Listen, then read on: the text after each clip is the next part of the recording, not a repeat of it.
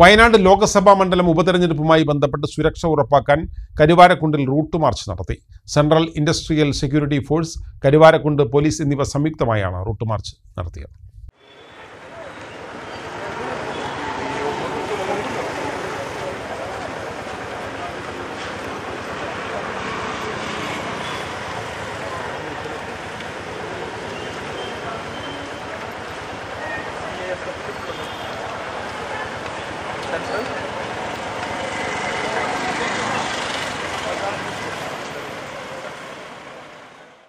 November പതിമൂന്നിന് നടക്കുന്ന വയനാട് ലോക്സഭാ മണ്ഡലം ഉപതെരഞ്ഞെടുപ്പുമായി ബന്ധപ്പെട്ട് സുരക്ഷ ഉറപ്പാക്കുന്നതിനായാണ് റൂട്ട് മാർച്ച് നടത്തിയത്.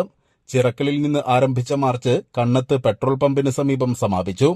സെൻട്രൽ ഇൻഡസ്ട്രിയൽ സെക്യൂരിറ്റി ഫോഴ്സിലെ അൻപത്തിയഞ്ച് സേനാംഗങ്ങളാണ് മാർച്ചിന്റെ ഭാഗമായത്. മാവോയിസ്റ്റ് ഭീഷണി നിലനിൽക്കുന്നതിനാൽ കരുവാരക്കുണ്ട് സ്റ്റേഷൻ പരിധിയിലെ തരിശ് തുവൂർ ടൌൺ എന്നിവിടങ്ങളിൽ കൂടി അടുത്ത ദിവസങ്ങളിൽ റൂട്ട് മാർച്ച് ഉണ്ടാകും. C I S F inspector Ashok Kumar S ഐമാരായ Amit Kumar Suresh Kumar Karuvarakundu sub ഇൻസ്പെക്ടർമാരായ M K Abdul Nasar T Aravindakshan A S ഐമാരായ വിനോദ് അനിത എന്നിവർ റൂട്ട് മാർച്ചിന് നേതൃത്വം നൽകി. News bureau Karuvarakundu. Malabar news മലയാളത്തിലെ ആദ്യത്തെ സമ്പൂർണ എച്ച് പ്രാദേശിക ചാനൽ.